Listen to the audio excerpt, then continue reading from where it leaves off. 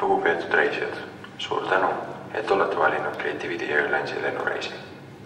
lennukikapten Indrek Marju ja mitteformaalne.ee meeskond soovivad teile inspireerivat reisi Creativity Airlinesi pardale.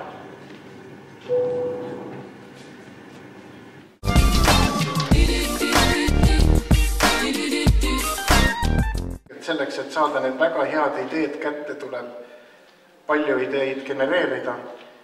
See on üks väheseid kohti, kui mitte ainukene koht, kus kvantiteet võrdub kvaliteet.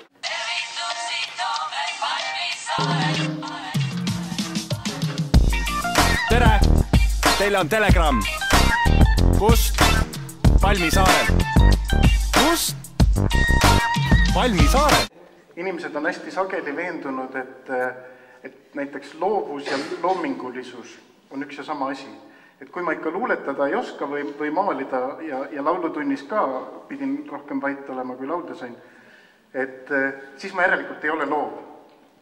noh, mis, mis tegelikult ei ole ju üldse õige, me, kui me täna räägime loovusest, siis me räägime pigem sellisest loovast lähenemisest, stereotüüpide vabast mõtlemisest, lahenduste otsimisest, erineva nurga alt lähenemisest. see ei ole ülearu palju seotud sellega, kui hästi keegi riime suudab kokku panna.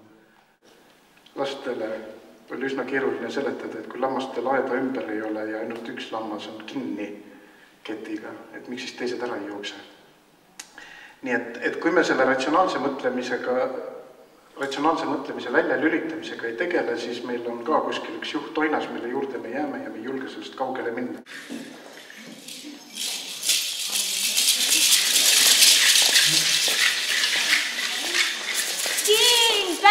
Päikselisel Palmisaarel me kutsume teid kõiki oma loovusringi. tulge, tulge, tulge, sellega olid kokkulepped.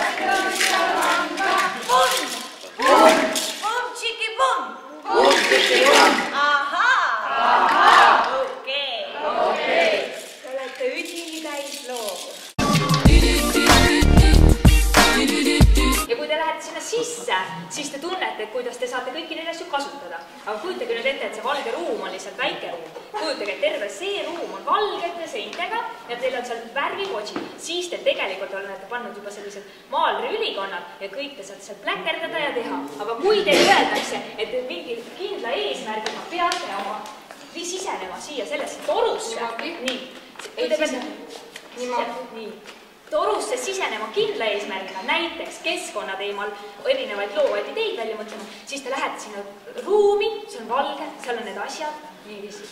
aga taustaks on teil selline väike loodus, häälkene. mis te tunnete? tunnete? tuleb. issand, kui ilus